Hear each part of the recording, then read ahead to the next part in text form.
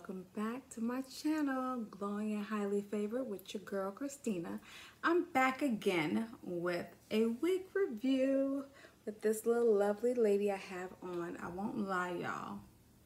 When I first put her on it does give you that coming to America vibe.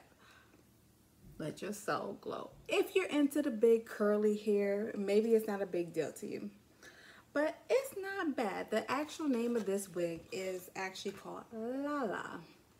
And of course, I have her in a 1B33 by Sensationnel.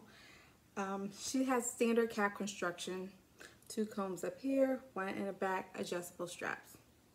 Okay, not too uncommon. So she is kind of, she's a cutie, all curly, kind of that big hair, don't care hello vibes. I won't lie, you do have to play with her to get her where you like it. So I kind of flatten it up here at the top a little bit, just with my hands. That's it to kind of get it to frame your face. You might have to trim it a little bit. I just trimmed it a little here, a little here. Okay, seriously, not much at all.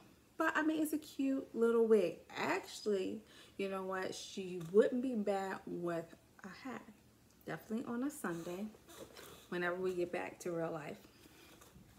Or if you are out, you could rock her with a hat. You know how that goes, a little bit of the eye show. And you can rock her out like that. So she definitely looks good with a hat. You get the right hat, you can go with this one. So let me know what your thoughts are on Lala.